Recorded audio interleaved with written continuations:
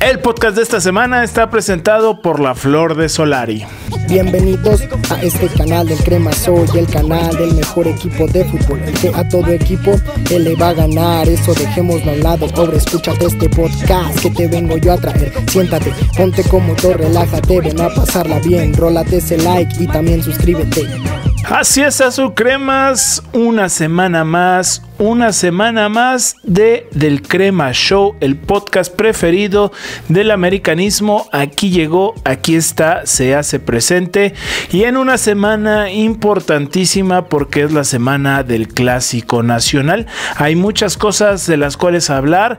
Gracias por estar aquí, gracias por sintonizarnos cada semana, eh, estar pendientes de este podcast, de, de, lo que hablamos, de hacer interacción con, con, con nosotros y y se los agradecemos mucho. Eso es lo importante, eh, que, interactúen con nosotros con esto que hacemos del podcast.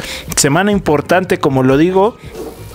Semana de clásico. Ya no vale tanto el clásico como antes. Ya no es tan trascendental, si es, pero ya no genera lo mismo que antes. Eh, debido a que el rival ha bajado muchísimo la calidad. Entonces, por haber razones, no, no representa lo mismo. Para nosotros es importantísimo porque son tres puntos contra el odiado rival histórico que no hay otro en el fútbol mexicano, aunque quieran generar miles de clásicos. Este es el único clásico nacional. Devaluado sí, pero es el clásico, no hay más. Después del partido contra León, eh, se, hace un análisis del equipo, eh, un partido completamente trabado, un partido que el primer tiempo se pudo haber ganado. Eh, a León le está costando mucho trabajo después del campeonato. Eh, se nos complicó. Se sacó Aquino. Eh, bueno, empezando por el hecho de que nos anotaron un gol muy temprano, gol de vestidor, eh, una desatención completa en la defensa. Eh, no pueden caer goles así, es, es, muy complicado que empieces un partido perdiendo 1-0 y de tal forma. El América supo responder y en menos de 10 minutos ya estaba el gol del empate por parte de Henry Martin y de ahí se volvió un partido difícil, trabado. Aquino eh, fue amonestado, por lo cual para el segundo tiempo Solari hizo el cambio por Naveda y se notó un equipo completamente diferente. Es muy distinto a que esté Aquino y Naveda juntos a que esté solamente Naveda, que también lo hace muy bien, pero los últimos partidos no ha participado mucho, así que se le ha complicado. Y bueno, se notó una gran diferencia, nos costó muchísimo trabajo, muchísimo trabajo, se falló un penalti de una forma horrorosa. Después de el penalti glorioso que nos entregaron en, en el Jalisco, que al final de cuentas no valió, nos entregan una basofia, un vómito, un, un pedazo de penal mal cobrado, un insulto al cobrador de penales de la historia. Aguilera se la mamó, no hay otra, otra forma de decirlo. No sé qué quiso hacer. Primero la falla, la manda al travesaño de pura chiripa no le pega en la, en la nuca a Cota y se mete, que eso lo hubiera salvado. Pero la forma que contrarremató, doblando completamente la pierna de esa forma, sin dirección, en vez de, de, hacer, de dar un pase o un, un, tiro a gol, teniendo la mitad de la portería abierta para que la metas, para que la revientes, haces un lateral esperando que alguien llegue. No sé qué es lo que quiso hacer. Es, es muy extraño lo que quiso hacer Aguilar. Aguilar, Aguilar perdón.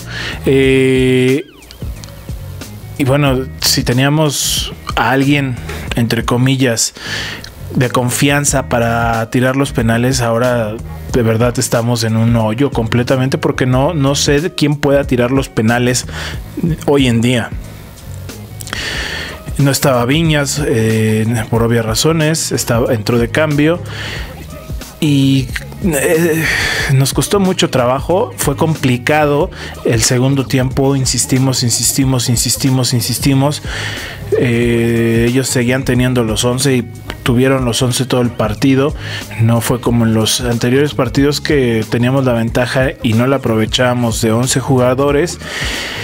Y bueno, después de insistir mucho, mucho, mucho y de que Viñas entrara 30 minutos se consiguió el gol, eh, un excelente pase de Leo Suárez. Para mí, en lo personal, Leo Suárez está subiendo mucho el nivel, está creciendo, eh, le, está costando trabajo pero está mejorando su nivel. A diferencia de los torneos anteriores, creo que está subiendo su nivel. Y el pase que le puso a Viñas para que la desviara con la nuca y creo que para todos se nos paró el corazón en ese momento porque nos marcaron fuera de lugar y fue como una pausa en la vida porque después vimos la repetición y vimos que no era fuera de lugar, entonces esperábamos que no nos lo, no nos lo anularan. Y así fue, no nos lo anularon. Y qué bueno porque fueron tres puntos de suma importancia. Tres partidos, nueve puntos, nueve de nueve y creo que desde hace mucho no se conseguía eso. Creo que desde la época de Ambriz no se conseguía eso, ni siquiera con Herrera se consiguió eso. Más allá de que él justificaba su, su mandato con los clásicos, de ganar todos los clásicos, eh, pero bueno, se consiguió eso. Eso no nos da un campeonato. Es obvio que no nos da un campeonato, pero nos refleja que vamos creciendo, vamos mejorando, vamos haciendo las cosas mejores, que no nos está pasando lo mismo que antes. Entonces, tres, tres puntos y nueve puntos en una semana importantísimos contra rivales digamos, en cierto punto difíciles. Tijuana en la frontera siempre es complicado. León se nos ha indigestado en los últimos años mucho, mucho en el propio Estadio Azteca. Entonces creo que fue una semana muy buena. Una semana en la que Bruno se acerca cada vez más a regresar, que es importante, más por lo que pasó en el primer minuto del partido contra León. Y otra buena noticia que más adelante la platicaremos, la de Nico Castillo. Eh, y bueno, se va recuperando la gente esperando que se, mejore y que la fecha FIFA nos caiga fenomenal para ese último tramo del torneo cerrarlo con todo, darlo todo, terminar en el primero más eh, en el segundo eh, si mal nos va pero terminar en esos dos primeros lugares sería importantísimo de cara a la liguilla y sí se ha visto un cambio totalmente en el equipo. Para mí sí se ha visto un cambio. Se ven más ganas, se ve más intención, se ve más eh, hambre. Entonces yo creo que vamos por muy buen camino. Falta mucho. Como lo he dicho en todos los programas, poco a poco, pian pianito, se tienen que ir consiguiendo las cosas. Se están consiguiendo. Y de a poco lo vamos a lograr. Y esperando que lleguemos al 30 de mayo a levantar el título. Ya sea en nuestra casa o donde sea. Pero levantar ese título va a ser importantísimo eh, en, esta, en estos momentos, ¿no? Y más ahora que estamos lejos del equipo.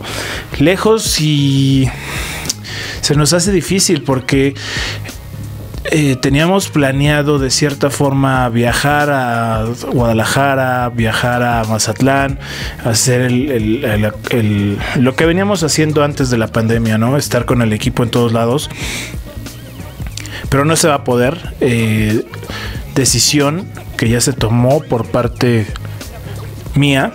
En lo personal creo que se han estado relajando mucho las cosas en cuanto a la pandemia aquí en el país. Creo que se han mandado muchos mensajes por todos lados, los medios de comunicación, el gobierno, todo, eh, erróneos en el sentido de que ya no se habla tanto de el virus, no se habla tanto de los contagios y creo que no es momento de bajar la guardia todavía. Por tal motivo he decidido no ir con el equipo ni a Guadalajara ni a Mazatlán me moría por ir a Mazatlán. Eh, eh, tenía muchísimas ganas después de un año de no estar con el equipo, pero bueno. Hay prioridades en la vida, la vida ha cambiado, se tiene una familia ya, se tienen responsabilidades y implicaría muchas cosas y mucho arriesgue por un partido. Prefiero no estar presente en esos dos partidos, que las cosas bajen, se calmen, eh, se estabilicen y después regresaremos a las canchas con mucho gusto. Eh, más adelante hay, hay que tener paciencia. Este no es el último partido de la vida. Así que preferimos esperar un poco y nos quedaremos en casa con todas las ganas del mundo de estar ahí en el, en el Akron este fin de semana que se juega el clásico como ya lo habíamos comentado. Eh, esto es un partido difícil, muy diferente a lo que se ha venido jugando en el torneo. Sabemos que ellos, por muy mal que vayan, van a jugar a ganar. Eh, van a sacar energías de donde no las tienen, van a sacar impulso de donde no lo tienen, porque es el eterno rival, porque es al que le quieren ganar, porque con esto salvan su temporada, a diferencia de nosotros. Eh, nosotros no salvamos una temporada ganándoles, nosotros salvamos una temporada siendo campeones y ellos sí, eh, ya lo vimos en diciembre cuando nos eliminaron en cuartos de final y justificaron todo su torneo pasado. Entonces, es diferente, por muy mal que vayan, por muy eh, mal estado en la tabla que tengan o que solamente hayan eh, empatado cinco partidos, no han perdido, pero solo han empatado cinco partidos. Entonces, llevan un, mal torneo, pero eso no los va a detener, nos van a querer ganar, se va a complicar el partido y yo espero que teniendo a todos los jugadores nuestros a punto, se pueda sacar un buen resultado. Eh, es una muy buena oportunidad de creo que es el primer paso para demostrar y consolidar el proyecto de Solari en su totalidad. Eh, Córdoba está en duda, eh, tiene alguna lesión muscular, está en pruebas, estos últimos días se va a estar probando, eh, no fue al, microciclo de la selección preolímpica, entonces se está llevando con pincitas, hay que recordar que, esta, esta dirección técnica ahora lleva a los jugadores más lento, no los trata de apresurar por lo que ya ha pasado antes, de que se trató de apresurar y bueno, tenemos el caso de Nico Castillo, que afortunadamente ya tiene la alta médica. Nico Castillo ya lo publicó, ya lo hizo saber desde Atlanta y ya se encuentra en la Ciudad de México. Y bueno, hay que esperar porque eh, no se registró por este torneo, como ya se sabe, ya hasta julio va a regresar a las canchas. Mejor poco a poco llevarlo con calma y no apresurarlo y no arriesgar su vida como se arriesgó la vez pasada por la prisa de querer tenerlo ya. Eh, esta semana con el clásico, pues todo se enciende. Eh, Peláez quiso llamar la atención y, decirle a Henry que en algún momento lo quiere en el equipo. Muy categórico, Henry dijo no, gracias, paso porque sabe lo que representa ir a Chivas y lo que ha representado para algunos jugadores que han pasado por el equipo y han terminado allá hundidos, derrotados y sin ilusiones y sin esperanzas, pero creo que Henry es un buen elemento del América, creo que está bien consolidado, le falta en el sentido de en los momentos claves marcar la diferencia como lo es la liguilla, donde se le complica anotar, pero mientras tengamos jugadores así comprometidos, es lo más importante. Esperemos ganar, tengo muchas esperanzas de ganar, de, que se consolide con una victoria el proyecto ahorita, antes de la fecha FIFA. Y seguir sumando, es lo importante seguir sumando para cerrar lo mejor posible el cierre del torneo. Falta todavía algunas fechas, falta Necaxa, falta Tigres, falta... Eh, faltan varios equipos, entonces nos falta todavía gran tramo, Toluca, Cruz Azul, Pumas, faltan dos de los importantes. Entonces, eh, lo importante es sumar ahorita. Y como cada semana, les recuerdo que eh, suscríbanse al canal, suscríbanse a todas las plataformas de, eh, de podcast, como es Spotify, como es Apple Music, Apple Podcast. Y ahí nos pueden encontrar. si se suscriben, inmediatamente van a recibir la notificación de que se ha subido un episodio nuevo. espera también recuerden que se deben, nos deben de seguir en todas nuestras redes sociales para seguir interactuando. Eh, subimos a cada red social algo diferente a lo que subimos en YouTube o en Facebook o en Twitter o en Instagram. Los esperamos, eh, los esperamos la próxima semana eh, con, con la esperanza de tener la noticia de que se ganó en el clásico. Y gracias por estar aquí estos 15, 20 minutos eh, para hablar un poco de la América, hablar de la actualidad, de lo que ha pasado.